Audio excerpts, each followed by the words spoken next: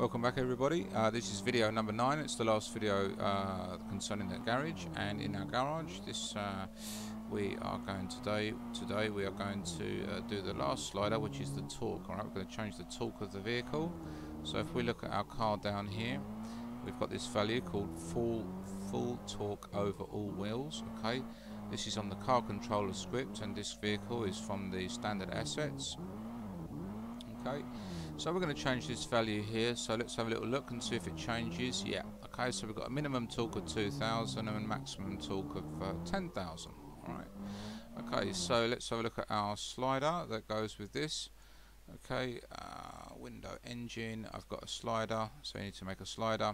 And I've set the value at 2,000 and 10,000 min max. And you can put any values that you want in there. Okay.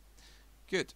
So how do we do that? Well, this, as I said before in the previous video, where we were dealing with top speed, we are we need to access the value in the car controller.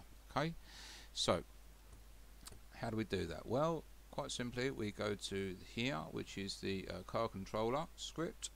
Okay, and here we what we want to do is, uh, as we did before with the uh, top speed, this is the top speed we did in the previous video. We want to do the same thing here with full torque over all wheels. Okay, so this previously the default is it's a private float and I've made it public okay? That's the first thing you need to do so we can access that value okay?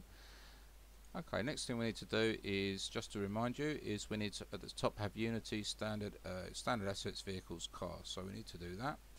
And what I've done is I've created a float for the torque value and a slider as well same as I did for top speed okay and of course at the top I've got the car controller um, I've called it car. So car equals get component car controller. So in awake we're going to get the con car controller. And then by doing that we can change the value in there alright because we made it public. Great. So basically I've said here come down to torque okay. So here I've said basically Right, get the value, current value of uh, torque from the uh, player prefs, and if it's less than 2000, make it 2000. That's for a fresh install, right? Because otherwise it would be set to zero.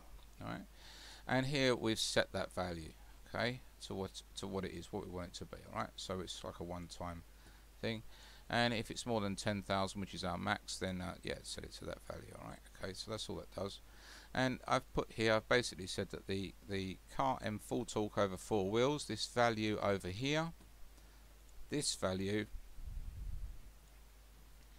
is whatever the value is that we've pulled from player prefs or from here okay?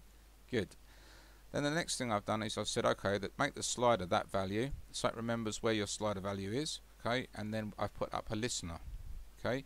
Listener here I've put on the torque slider and it basically says if there's a value change in the torque slider i.e. someone's changed the slider okay the player's changed the slider value then do something alright and what does it do? Well it, it runs this little function which is the check the value of the uh, torque okay?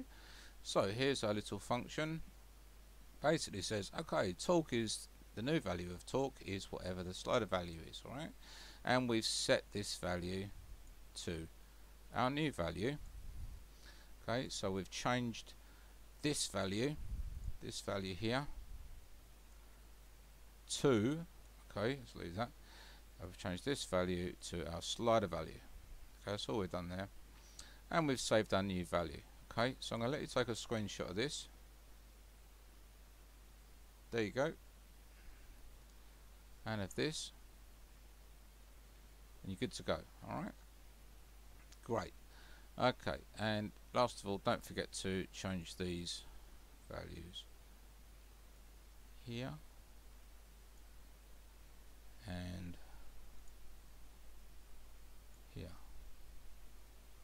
So top speed and torque. Good. Okay so let's see if this all works. So we're looking at this top we're looking at this torque okay? So we hit play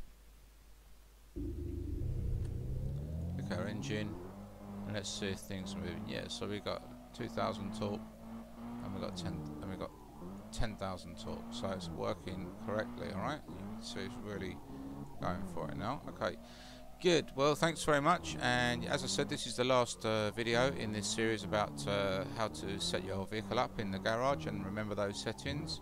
And yeah, I tell you what, this is actually really good for testing your car. And as you can see, if you're doing some kind of four-wheel thing, you can mess around with the torque and the, and the, and, and the suspension and stuff and get your car really working properly. All right. So. Thank you very much for watching these videos and please subscribe and I hope you learned something and yeah see you in our next videos alright so look out for our new playlists and thank you once again goodbye